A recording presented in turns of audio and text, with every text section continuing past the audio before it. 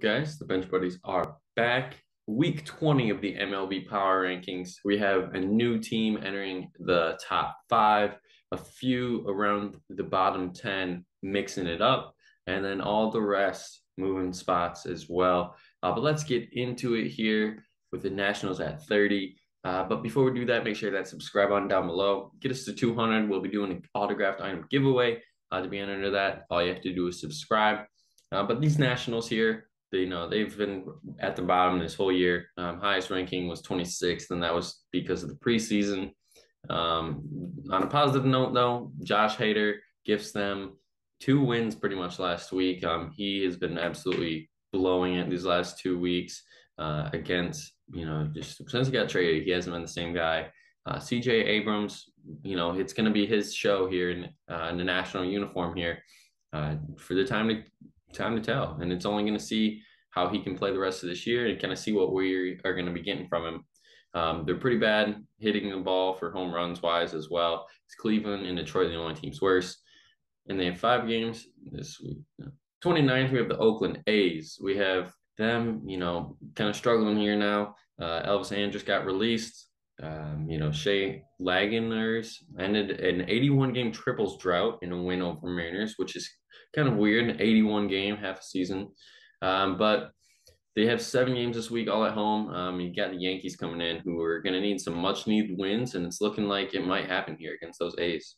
28th, we have my Tigers. It's been disappointment this whole year. A lot of injuries, um, you know, disappointments, and you know, Baez obviously struggling, pitching, MIA. Um, you know, and their last in the MLB with home runs was 72. So you more losses than home runs, and then that's not a good thing. Um, Eduardo Rodriguez, though, on a positive note, came back from his you know rib injury and then personal issues off the field, um, and threw five shutout innings against the Angels and led them to a win. Uh, and this week they got five games against the Giants and Rangers. 27th, we have the Pirates. They're two and eight in their last 10. Uh, they're struggling here a little bit. This team, you know, at one point about a month, two months ago, um, I was thinking maybe this team could sneak into a postseason. I think they were, you know, sitting around 40 or 30 and 32, you know, so in uh, around June, um, this team really had a shot and then they really just fell off and kind of, you know, limping to the end of the season here. Um, Oneil Cruz, though, has been a flashing of a star. You know, when he gets it going with his bat, I mean, he does some dangerous things, can hit the ball very far.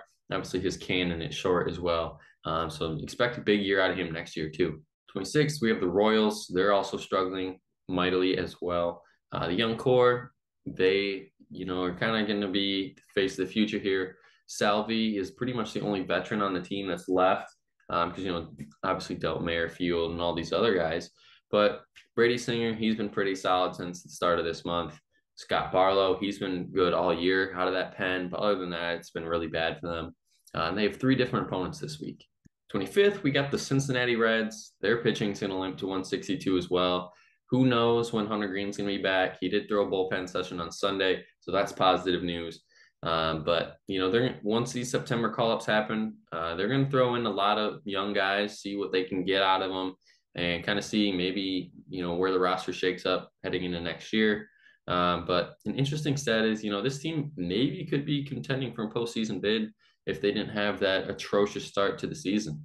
Um, you know, they're 45 and 49, and let's say, you know, they could be right around 500 here and, you know, looking for a stretch run. Um, but on a negative note, Joey Votto, the, you know, the guy that everyone loves there in Cincy, uh, is having season-ending shoulder shoulder surgery. Um, so he is going to be returning next year for the Reds. 24th, we have the Marlins, and this is their lowest ranking to date. They've been in, you know, that 17 through 23 range, uh, but, you know, they've been struggling. Sandy, he's been struggling in a few outings lately, two and eight in their last 10. Um, but if they look back at this year, um, it could have been a year of what if because Jazz Chisholm's been hurt for at least half of the year. Um, and, you know, counting him and a lot others, in that lineup is also holding them back. You know, they've just never had a consistent lineup um, from, you know, one to nine. And, you know, we don't have consistent bats. You don't really get a chemistry going. And that's kind of where the Marlins fall this year. 23rd, we have the Rockies. and they kind of fell off as well. They were 13 and 20 since the All Star break, and they were hoping to come out and really make a push for the postseason. Uh, but that just didn't happen here, and they fell all this way. Um, you know, Jose Iglesias has been a bright spot, hitting, I believe, a career best right now, 312. And CJ Cron, he's having a really good year as well. Um, but pitching wise, Senzatela is out for the year with a torn ACL. So he'll be out a while. Um, it's just Rockies, you know, ERA is just going to even skyrocket even more now that he's out. Uh, so expect them to probably be last in the league when it's all said and done. 22nd, we have the Angels. Um, the only good thing they got going for them is Mike Trout coming back after his 30 game absence against the Tigers last week. And Ohtani, could he win another MVP, even though this team's been pretty dismal? Um, I personally don't think he's going to win it. Even, I mean, unless he, you know, has some remarkable September. But their bottom five team and all hitting, and it, and it shows why because their pitching has been pretty solid. As Reid Detmers in his last five starts uh, has a 2.54 ERA, 28 innings pitched, and 37 K. So he's been doing his job. Ohtani's been doing his, but after that, um, you know, even Syndergaard, he's been doing well too. But after that, it's just kind of you don't know what you're getting. They traded away Iglesias, the bullpen's weak, and the back end of the rotation is weak as well. 21st, we have the Cubs surging up a little bit. They're eight and three in their last 11. Um, Kyle Hendricks did announce that he will be done uh, for this year, so he's planning on uh, coming back in 2023. Uh, Ian Happ and Contreras was a good move for not just I think them personally, um, for the fan base too, because you know these guys really love Chicago, and you know you could have dealt them whatnot, but I think Contreras really could come back and re-sign, um, just because you know he loves it there in Chicago. And you saw how emotional he was before the trade deadline they kept him. And same with Happ. You know, I think if they can bring him um, back or sign him to extension, maybe that could be a good sign too. Um, they got eight games this week, and you know, all against division opponents, looking to spoil some uh, games there for the Cardinals and Brewers. Twentieth, we have the Diamondbacks. Uh, they struggled last week, two and five in their last seven. Uh, you know, right around this spot for stats. And the pitching has been the bright spot. Obviously, Merrill Kelly and Zach Gallen are almost the same exact pitcher this year. Christian Walker, though, has been the only consistent bat in that lineup, and that's what's holding this team back. Um, you know, they're having guys contribute like Alek Thomas. He's doing pretty good now. Um, but Ketel Marte, he is just nowhere to be heard of this year.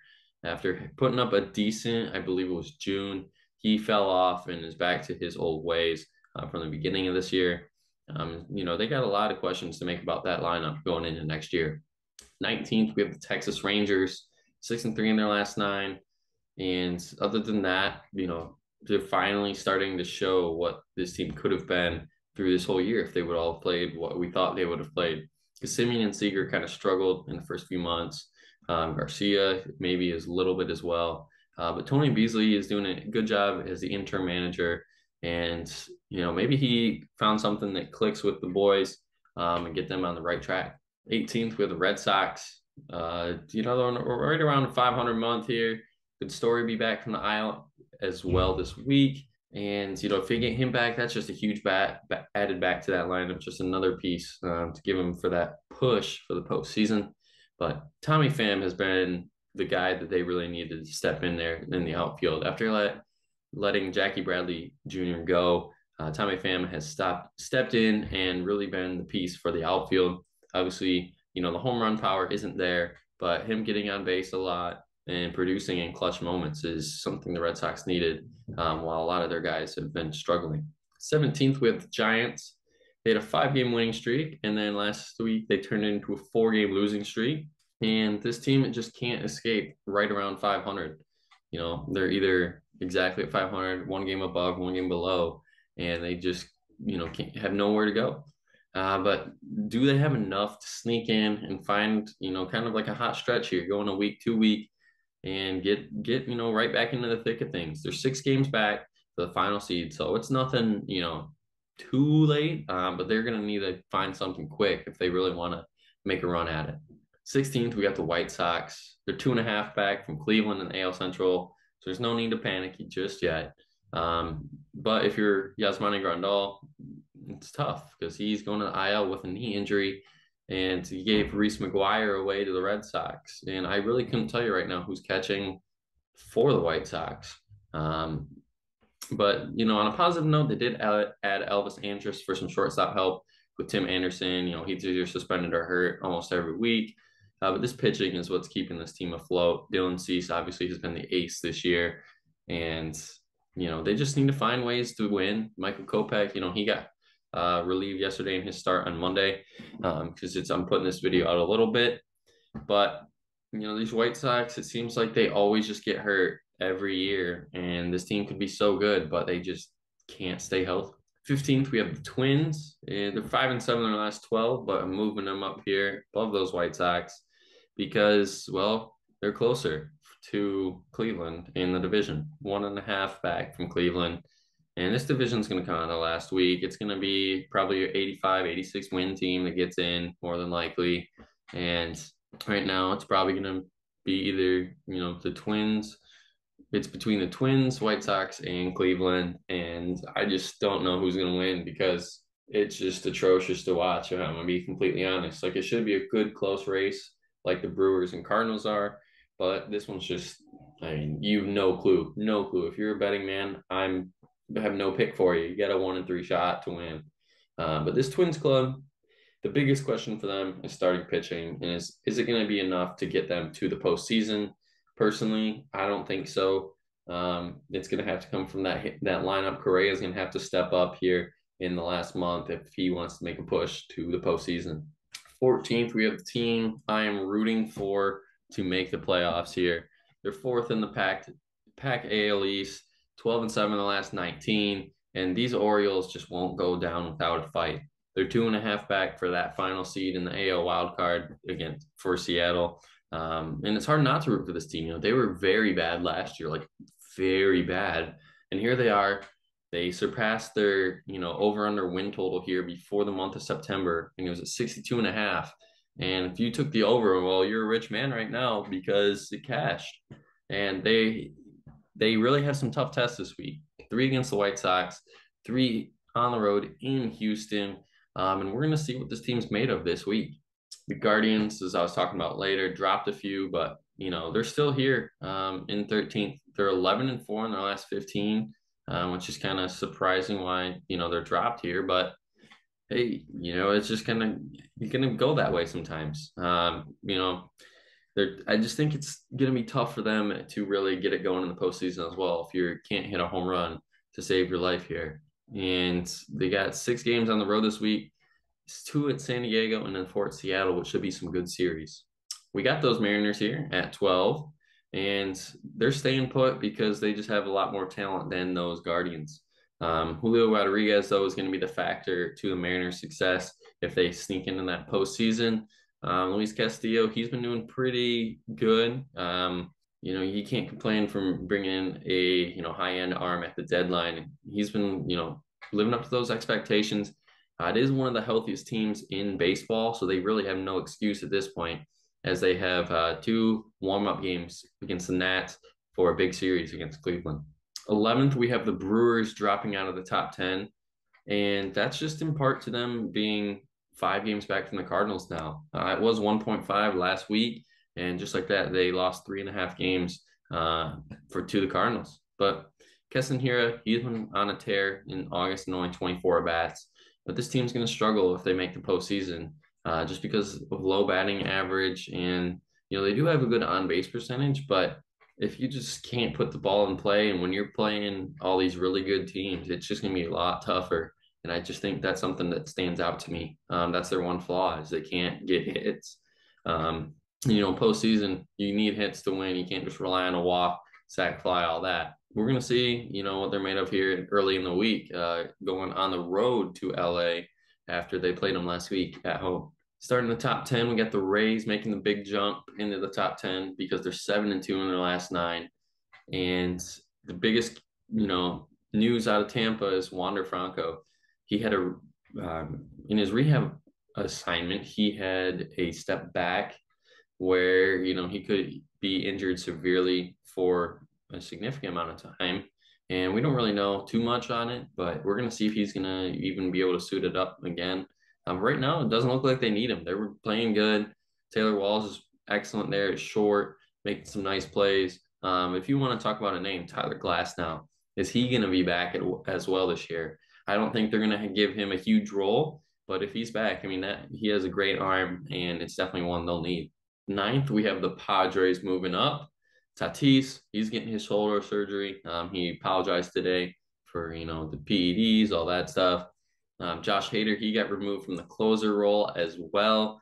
So you know, Padres are kind of in a little bit of shambles here, and obviously they're a lot back in the NOS, but they only have a game and a half lead for that last wild card spot against Milwaukee. So this NL race is going to heat up, and it's only going to get better as time goes on.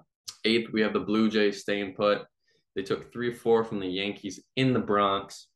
And of course, there was controversy.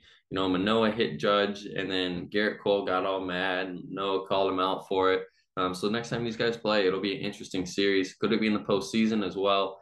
Um, tension will be high, but are they going to be able to keep the second spot in this wild card race down the stretch? Because the the Blue Jays have been, you know, cons- consistent at being inconsistent.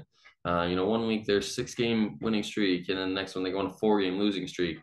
So it's gonna be tough there to decide what this Jays team can do because uh, you know a lot of people like myself uh, were picking them to win the you know World Series at the beginning of the year, and they just really haven't lived up to that hype yet. Seventh, we have the Phillies staying put as well. Uh, they hold the third and final wild card spot, and they're a game and a half lead on Milwaukee as well. They're 16 and 8 in their last 24. And some even better news is they're getting Harper back more than likely on Monday. Um, that's if all the rehab goes well this week.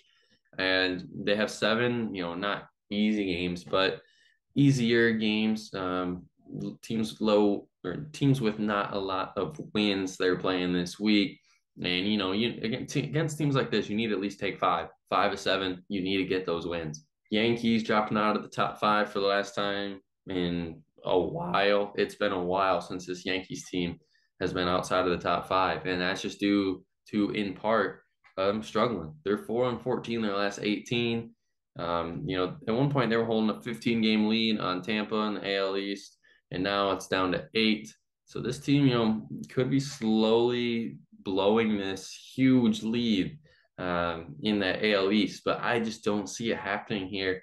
Uh, with all this talent on this roster, they got to figure it out, right? I, I hope, but it's not, you know, really the starters' fault. I'm going bullpen. They, they just can't get through games. Um, Chapman's been disastrous. Clay Holmes has had a tough month. And, you know, after that, Michael King, when he went out for the year, I mean, this is just bullpen's been blowing up. And, you know, they did beat the Mets last night, so they have 75 wins right now. Uh, but you know, we'll see how they fare tonight, and then they go on the road to Oakland. Um, and Montas returns home, but he will not be pitching there. Top five, we have the Cardinals eclipsing the top five, and that should say a five-game lead on the Brewers in the NL Central after you know just a huge week last week, getting three and a half on them. Uh, they're 18 and four in the last 22. Jordan Montgomery is being an absolute steal at the deadline. I mean, he is well, I think he's 4 0 with the Cardinals now. Uh, just excellent numbers. ERA, I think, under 1.5 since he got dealt over. And Albert Pujols is a name to watch. Seven home runs in his last 10 games. He's heating up. Uh, 500 or yeah, 593 home runs, I believe it is. Or maybe it's 690. Yeah, 690, 693. Yeah, whatever it is, he's seven away from yeah, seven away from 700. Um, and I think he might be able to do it if he's going to stay at this pace. Fourth, we have the Atlanta Braves. They're 11 and 2 in their last 13, and we we just got to keep them here for now, just because those three teams have them just a tad bit better. Uh, when they get Soroka back, this team is going to be very deadly. Depending on what role they put him in, um, he's going to contribute well immediately too, because you know this rotation is already good as is. But if they put him in maybe a long relief or middle relief role, or even throw him as the fifth starter, and then transition him over to the bullpen for the playoffs. That could work as well too. But this Braves team, I just think we are going to kind of see potentially something like we did last year, where this Braves team isn't really talked about as much, goes in the playoffs and just dominates. Third, we have the Houston Astros. Nothing really much to talk about here other than their rough week, which for them is going three and four um, against the White Sox and the Braves. But Jordan, obviously, he's had a great year, and same with JV. Um, so they got six games at home this week against some opponents that are looking to make a push towards the postseason. Second, we have the Mets, and they only have a three-game lead on the Braves in the NL East, and you know they're catching up those Braves, but they'll look to put them away a few more series down the road here against them. Uh, and they're 21 and 7 their last 28. So this team they've been playing really well, but the Braves has just been playing a tad bit better and catching up to them in that division. In that one, we have the Los Angeles Dodgers. What more to say about this team is they've been the clear cut number one for a while now. Um, they're 17 and 3 in their last 20, 17 and a half game lead on the Padres in the NL West, the top three team in every stat category. They just signed Max Muncy to another one year extension. The one negative thing is Walker Buehler. He's more than likely going to be out till 2024. Um, that's kind of where they're putting it at now. He had Tommy John surgery today, successful surgery. Uh, but other than that, you know, that's the only downfall I think that the Dodgers have right now. But that's going to be it for the video today. Make sure you guys hit that comment, like, subscribe, all the buttons down below. Let, let us know how how these rankings are. Until next time, the Bench Buddies are out.